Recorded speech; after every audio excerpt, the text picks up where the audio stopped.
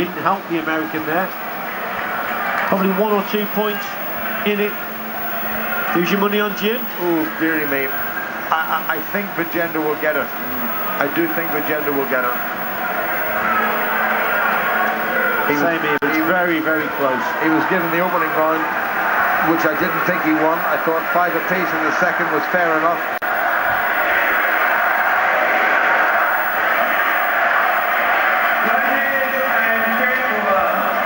The winner by a score of 16 points to 15 in the blue corner.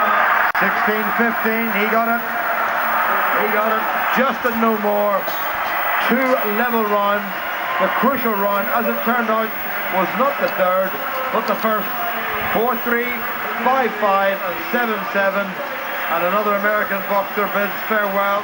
And Vijender now has won the second contest here in London 2012, his third Olympic Games, and no wonder he is held in such esteem and adulation in India. Dejection on the face of the American boxer as he walks back. This fellow can do no wrong. He is something akin to a deity in his home country. His coach there just congratulating him.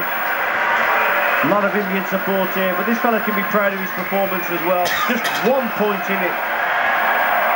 And I don't think anyone would have really argued if it had gone his way, to be quite honest, apart from the Indians.